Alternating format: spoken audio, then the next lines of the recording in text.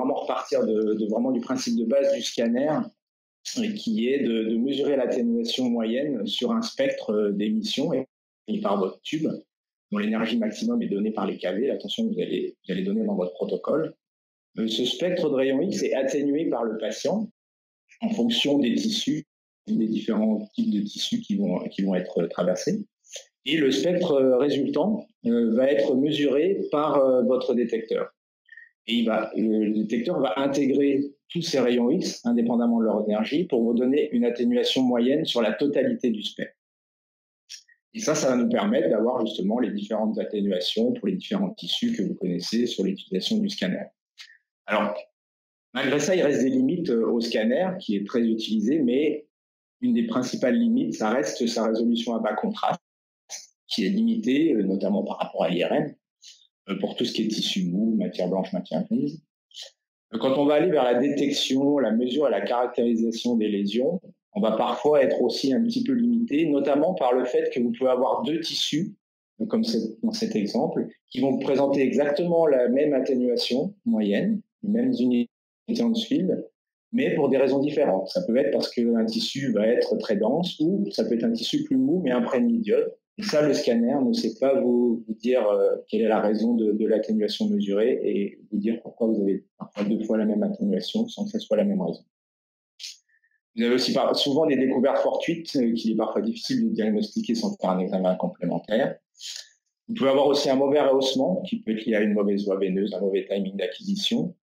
Et puis beaucoup de patients âgés qui vont avoir des, mauvaises fonctions rénales, donc on aimerait injecter mais le moins possible pour pouvoir quand même bénéficier de, ce contraste apporté par l'injection d'iode. Et puis des artefacts liés à, la, physique même du scanner, donc le durcissement de faisceau lié au fait que justement on utilise un spectre euh, continu dans les. Les artefacts, euh, donc ces artefacts de durcissement qui parfois vont, vous simuler une hypoperfusion, donc euh, parfois difficile de faire la différence, est-ce que j'ai vraiment un artefact ou une hypoperfusion. Les artefacts de blooming, du calcium ou du sten, qui font que les objets denses sont vus avec une taille plus importante que leur taille réelle.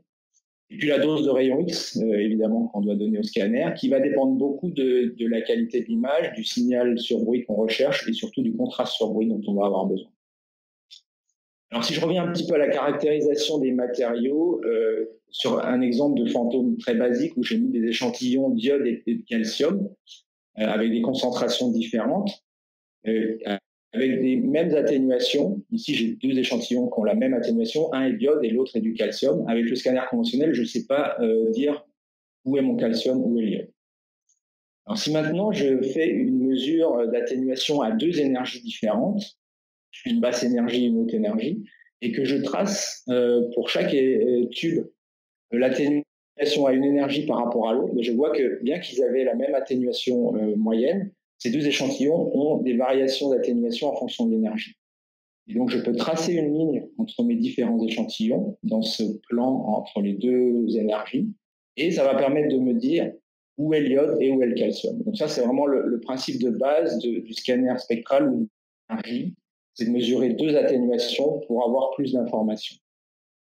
Alors, comment on va mesurer ces, ces deux atténuations?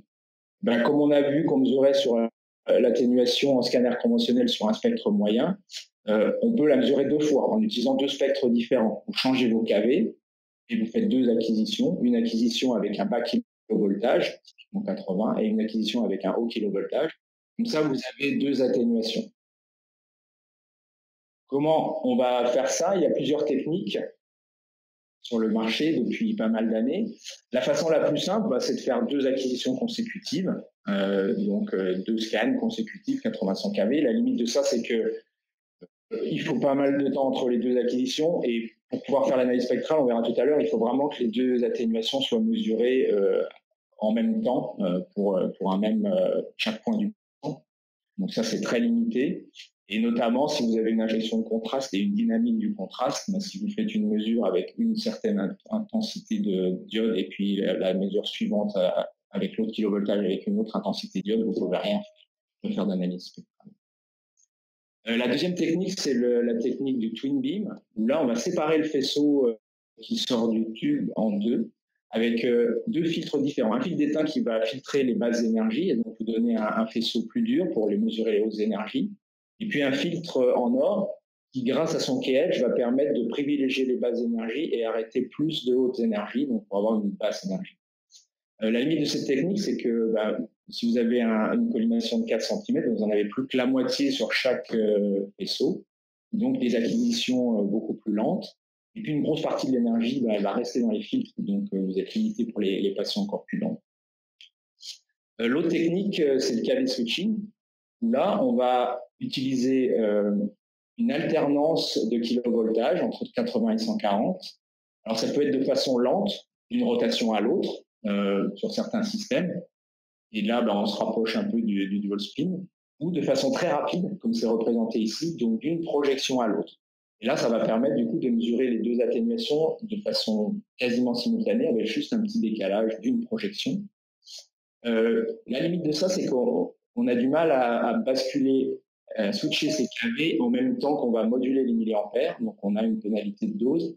Et puis, c'est surtout sur l'acquisition à 80 kV qu'on va avoir du mal. Hein. On sait qu'en scanner conventionnel, c'est la même chose. Quand vous avez un patient corpulent et vous scannez à 80 kV, votre qualité d'image, n'est pas forcément euh, idéale. Donc, même si là, c'est pas représenté, mais on peut intégrer plus longtemps sur l'acquisition à 80 kV pour augmenter le signal à basse énergie, il reste de moins bonne qualité que celui à 140 kV. C'est lui qui va déterminer la qualité d'image finale. Et puis la, dernière euh, technique, c'est la technique euh, du double tube. Là, on va pouvoir utiliser un kilovoltage sur un tube et un kilovoltage différent sur l'autre tube, avec en plus la possibilité de changer la filtration qu'on va appliquer à ces deux tubes pour augmenter euh, la différence d'énergie de ces deux spectres. Car en fait, quand on, va voir dans la, partie physique, plus on aura de, différence entre les deux énergies qu'on va mesurer, plus on sera confortable pour faire l'analyse spectrale pour qu'on sache bien gérer le, niveau de, qualité des, images. La limitation de cette technique, c'est que ben, vous avez un des, systèmes de détection qui a un champ de vue réduit. Euh, je crois que c'est 36 pour la dernière génération, 36 cm. Et puis vous avez du diffusé croisé qui va aller d'un système à l'autre, qui va un peu dégrader votre qualité d'image. Et surtout, vous perdez l'avantage, les avantages essentiels de, de ce pourquoi ce double tube avait été euh, créé, c'était un, la résolution temporelle pour le cœur, puisque grâce aux deux tubes à 90 degrés, il vous suffit d'un quart de tour pour faire une acquisition. Donc très bonne résolution temporelle. Mais là, si vous mettez les deux à 2 kV différents pour faire deux images différentes, bah, vous revenez à une résolution temporelle standard. Et puis l'autre mode, le mode flash, qui vous permet de faire des hélices très rapides en combinant à nouveau les hélices de ces deux tubes. Donc euh, en trauma, par exemple, pour faire des, hélices très, rapides. Bah, même chose, euh, comme vous avez besoin de créer deux images différentes, vous ne pouvez pas le combiner avec le spectrum. Donc, euh, ce qu'on constate, c'est que, alors, la principale limite euh, de, toutes ces techniques qui sont dites à, l'émission, où on va jouer sur la source pour créer nos deux, nos deux atténuations, on doit faire un choix a priori, euh, donc dire qu'on veut scanner avec ce mode spectral et faire un compromis. Avec un compromis, comme je l'ai dit, où on va abandonner une qualité d'image sur l'image conventionnelle, mais aussi sur le reste, avec une perte de champ de vue, une perte de modulation, une perte de définition, ou perte de puissance, de vitesse on fait un compromis. Et c'est pour ça que c'est un peu gênant parce qu'on doit choisir. Est-ce que le spectral va apporter quelque chose ou pas? Donc on doit le savoir un peu à l'avance et on, va voir en, clinique, c'est qu'on ne sait pas toujours à l'avance. Donc bien que ces techniques soient sur le marché pour la plupart depuis une dizaine d'années, euh, leur utilisation en, routine euh, a été assez limitée. Beaucoup de publications, mais, mais limitées en, routine Alors l'autre façon de, mesurer ces deux atténuations, c'est ce qu'on fait euh, sur l'ICON, c'est une façon à la détection. Donc, on va partir d'un seul spectre euh, de rayon X, mais on va en extraire les deux informations d'atténuation qui nous intéressent grâce à un détecteur double couche. Une première couche de scintillateur qui va arrêter préférentiellement les basses énergies, nous donner l'atténuation à basse énergie, et puis une deuxième couche en dessous qui va arrêter préférentiellement les, hautes énergies après qu'elles aient traversé la première couche pour donner l'atténuation à haute énergie. Alors, un seul tube, un seul kilovoltage, mais deux couches de détecteurs. Et le gros avantage de cette technique, c'est que les deux mesures d'atténuation sont parfaitement simultanées, hein, contrairement à toutes les, autres techniques. Les deux scintillateurs ont été optimisés pour les, basses et hautes énergies, euh, et avec un, design, donc les, les matériaux et les épaisseurs, pour que la séparation soit optimale dès 120 kV. Et surtout une optimisation de la première couche pour les basses énergies. Comme je l'ai dit, c'est souvent l'acquisition à basse énergie qui pêche dans toutes les techniques de double énergie. là, avec un, on a un matériau à faible densité pour laisser passer les hautes énergies et puis un haut dans le milieu. Donc, avec ces techniques, bah, toutes les acquisitions sont spectrales puisque vous avez toujours le, le signal sur vos deux couches et pas de choix a priori. Alors, un petit peu de physique euh, pour comprendre euh, comment on va extraire l'information spectrale et, d'où viennent toutes les images, toutes les cartographies euh, spectrales que vous allez voir. J'espère ne pas vous endormir, je vous vois pas de toute façon. Il faut savoir qu'aux aux énergies utilisées en, scanner, il y a deux types d'interactions qui sont responsables de l'atténuation des rayons X. L'effet photoélectrique, euh, dans lequel le rayon X va choper un électron à nouveau le euh, et perdre toute son énergie. Et puis le, diffusé Compton, où là, le, rayon X va interagir plutôt avec les électrons euh, des couches externes, et il va leur communiquer seulement une partie de son énergie, et il va être dévié. Alors l'effet photoélectrique va être prédominant aux basses énergies et le Compton aux hautes énergies. Et l'atténuation totale, bah, c'est la somme de ces deux, atténuations. Il y a eu un, une publication euh, fondamentale pour, euh, l'imagerie spectrale, c'est la modélisation d'Alvarez et Maskowski, euh, où ils ont montré que ces deux atténuations, on pouvait les modéliser avec une fonction de l'énergie pour l'effet photoélectrique et pour l'effet Compton. Donc des fonctions qui sont connues et qui sont indépendantes du matériau ça c'est très important, et des coefficients qui, eux, vont dépendre du matériau. Donc, leur modèle permet de différencier euh, la partie dépendante de l'énergie de la partie dépendante du tissu traversé.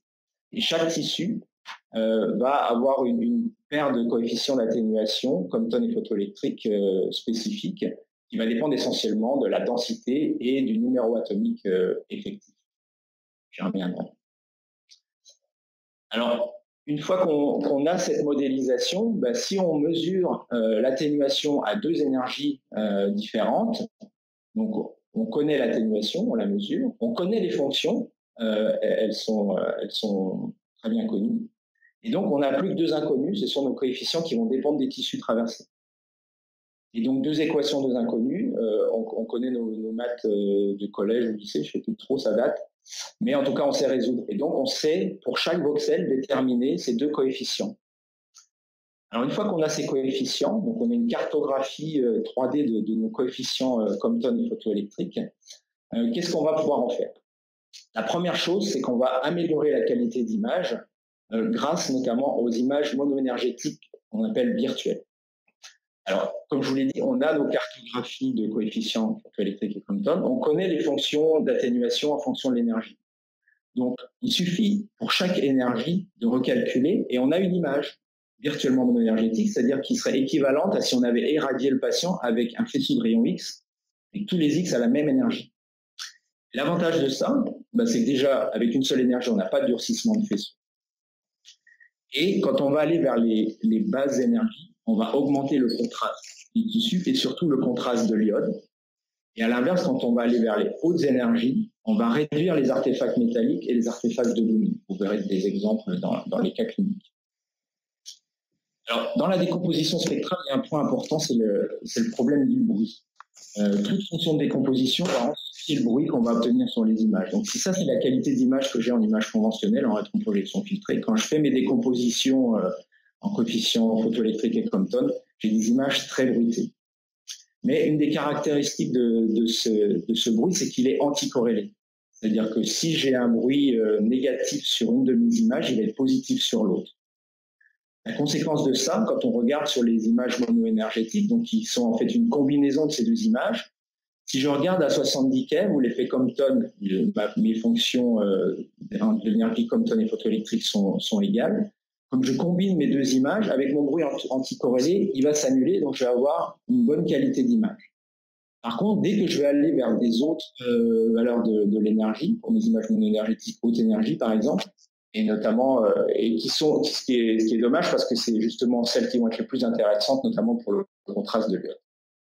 Alors, quand on va faire cette analyse spectrale, il y a deux façons de faire. On, a nos deux jeux de données bruites à haute et basse énergie. On peut, on peut les reconstruire directement euh, avec les méthodes de reconstruction qu'on connaît pour le scanner conventionnel. Et on a nos deux jeux d'images et on va faire l'analyse spectrale dans le domaine d'image. pour calculer nos coefficients. Le problème, c'est quand on fait ça, on perd euh, le bruit anti, la corrélation, l'anticorrélation pardon, euh, du bruit. Donc, on va pas pouvoir bénéficier de, cette annulation du bruit. Et on a une moins bonne correction du, du L'autre technique, euh, c'est de faire tout dans l'espace des données brutes. Donc, on va aller directement calculer nos effets photoélectriques et Compton dans les données brutes, qui va permettre de réduire le, le, le et puis de, débruiter au niveau des données brutes euh, à la fois cet effet de bruit anticorrélé et en utiliser des techniques de reconstruction itérative. Mais pour faire ça, il faut que les acquisitions des deux atténuations soient parfaitement simultanées. Et donc ça, ça va vous donner un avantage énorme sur la qualité d'image. Un exemple ici, donc je reprends mes deux décompositions en rétroprojection filtrée. Si on les fait avec une technique de reconstruction qui va filtrer le bruit anticorrélé et euh, ajouter de la reconstruction itérative, on obtient une nettement meilleure qualité d'image pour nos cartographies de coefficients et on comprend quand on va les combiner pour créer les images mono-énergétiques, on aura une meilleure qualité d'image. Alors ça, ça a été un peu décrit dans, cet article de, de l'équipe d'Utrecht, où ils ont mesuré l'atténuation de différentes concentrations d'iode dans un fantôme pour les différents euh, kiloélectronvolts, différentes images euh, virtuellement mono-énergétiques, pour les trois techniques euh, d'imagerie, euh, donc le, le, double tube, le, le switching et l'icon. Donc, pour les trois techniques, on voit sans surprise une très forte augmentation de l'atténuation quand on va vers les basses énergies. Et ça, c'est lié à la caractéristique d'atténuation de l'iode et son KH qu'on connaît bien à 33 kV. Mais ce qui est plus important, c'est quand on va aller regarder le rapport contraste sur bruit, c'est ce, qui nous intéresse et ce qui va nous donner en fait la qualité d'image et ce qu'on va pouvoir faire de nos images. On voit que sur la conne, on conserve cette augmentation très importante du rapport contraste sur bruit. Sur le double tube, euh, on a encore une augmentation, mais nettement moindre par rapport à ce qu'on avait vu euh, sur l'atténuation pure de l'iode. Et puis sur le 750 LD, là c'est carrément l'inverse. Euh, le rapport contraste sur bruit, il est optimum à 70 kV et il se dégrade quand on va vers les bases énergies. Et la raison de ça, elle est expliquée dans cette autre publication de, de l'équipe de Munich. Euh, c'est que quand on va aller vers les, les bases énergies des images monoénergétiques, le bruit augmente énormément, euh, notamment pour la technique du KV switching. Et donc, si vous augmentez votre signal de l'iode, mais qu'en même temps vous augmentez le bruit, ben, votre rapport signal sur bruit ne bénéficie pas de cette augmentation de, de signal de l'iode. Alors que sur l'icon, vous avez, grâce à la reconstruction itérative, euh, vous avez un bruit quasiment constant, quelles que soient les images monoénergétiques. Alors, qu'est-ce qu'on va pouvoir faire de plus avec euh, les paires de coefficients d'atténuation photoélectrique et Compton On va pouvoir calculer des images de numéro atomique effectif, des images de densité électronique.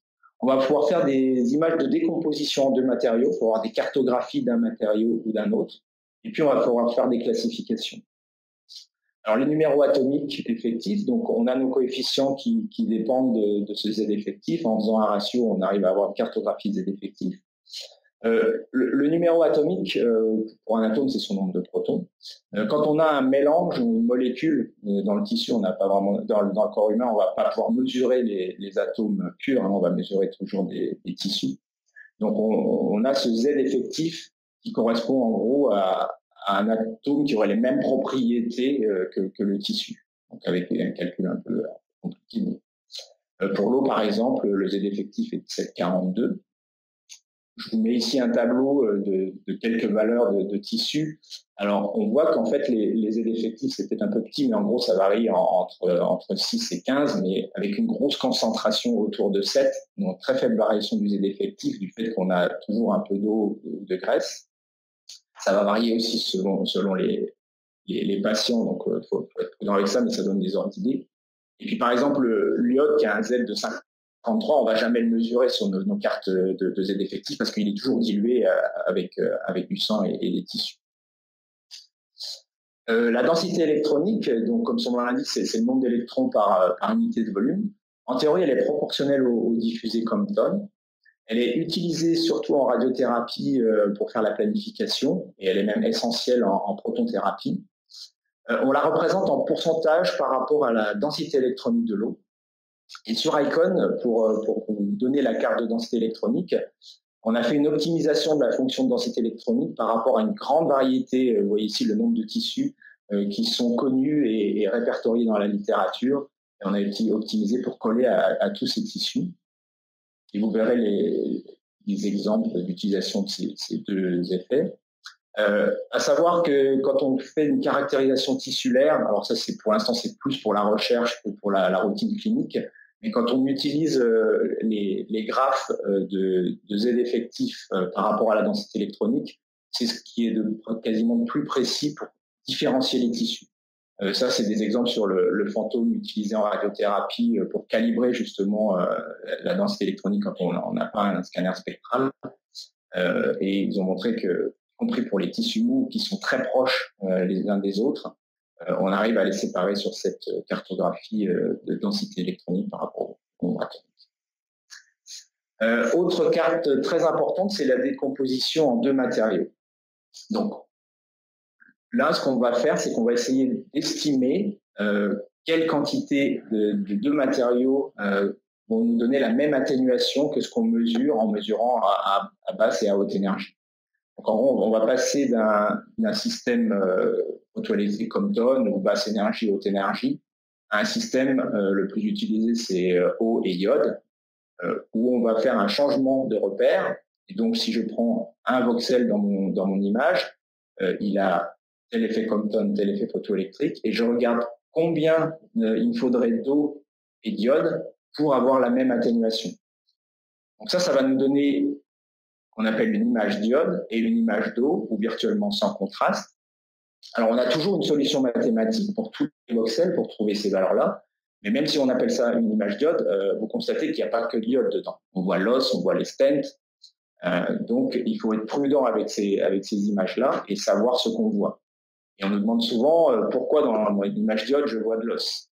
Ben, en fait, cette décomposition en deux matériaux, comme je vous l'ai montré, on arrive toujours à trouver une solution et elle va nous donner, par exemple, dans l'image d'eau, on va avoir tous les tissus qui sont préférentiellement avec des Z effectifs faibles, donc qui vont avoir une atténuation préférentiellement comme tonne, comme l'eau, on se retrouver sur cette carte d'eau. À l'inverse, les tissus qui ont un, un Z effectif élevé, donc privilégier euh, l'atténuation photoélectrique, vont se retrouver sur la carte diode.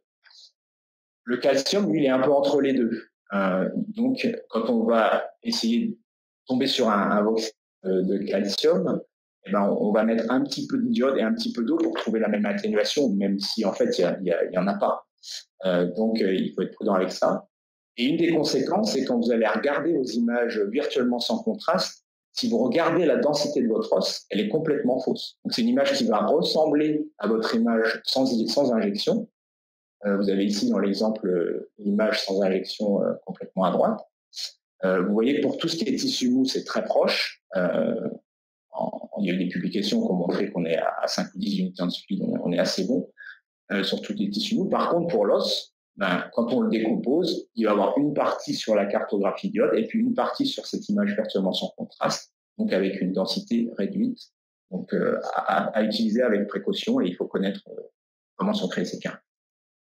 La dernière euh, façon d'utiliser l'information spectrale, c'est un peu ce qu'on a vu au début, c'est qu'on va pouvoir faire des classifications. Alors la plus simple, c'est une classification binaire, comme je vous avais montré sur le fantôme. on, on, voit dans le plan photoélectrique Compton euh, notre ligne qui va représenter l'iode dilué avec de l'eau. Euh, on voit l'os aussi avec toujours des volumes partiels ou des, dilutions. On va séparer entre les deux et ça, ça va nous permettre d'enlever l'os. Et donc, par exemple, d'avoir des, cartographies très rapides des structures euh, vasculaires. Une autre classification, c'est pour euh, l'acide urique, où là, un peu plus complexe parce qu'on va devoir éliminer des tissus mous, séparer l'acide urique du calcium. et donc, on va avoir cette zone euh, surlignée là qui va être considérée comme de l'acide urique, en sachant que on n'est pas parfait là-dessus parce qu'il y a des recouvrements. Il y aura plusieurs tissus qui vont ressembler à l'acide urique.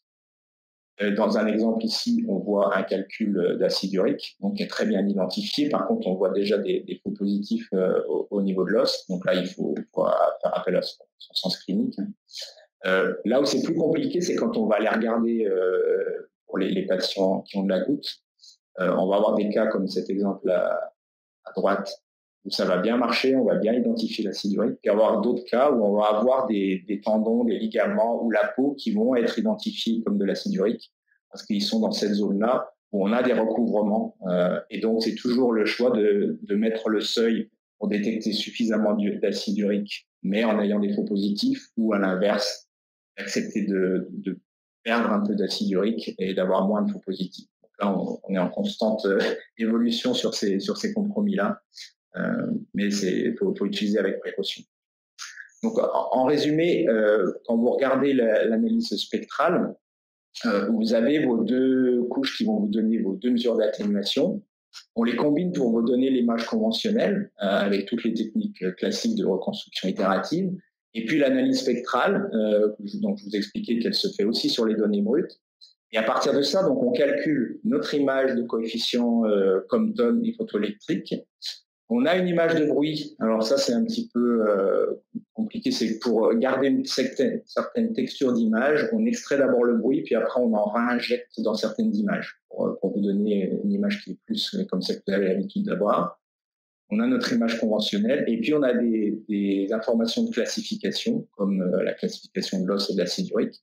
Et on encapsule tout ça dans le fichier SBI, Spectral Based Image, et à partir de ça, bah, sur vos consoles de post-traitement, euh, vous avez de façon instantanée la création de toutes ces cartes dont je vous ai montré qu'elle est très simple puisqu'elle elle dépend de fonctions euh, très simples et connues. Euh, juste pour conclure, avant de passer la main à Louis Broussel et, qui va vous donner plus de détails sur l'utilisation de ces cartes et en vous donnant des exemples. donc, le, le, scanner spectral a l'avantage d'extraire les atténuations Compton et photoélectriques à partir d'une seule acquisition standard et sans compromis générer de multiples résultats euh, ou images euh, spectrales, avec euh, comme principal bénéfice bah, des nouvelles possibilités avec un meilleur rehaussement de l'iode.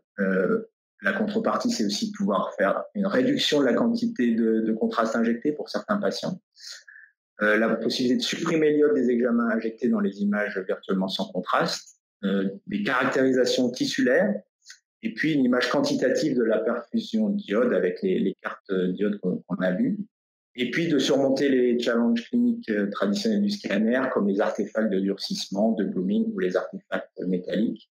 Tout ça pour euh, augmenter la confiance diagnostique et j'espère que tous les exemples cliniques qui vont vous être montrés après euh, de ça.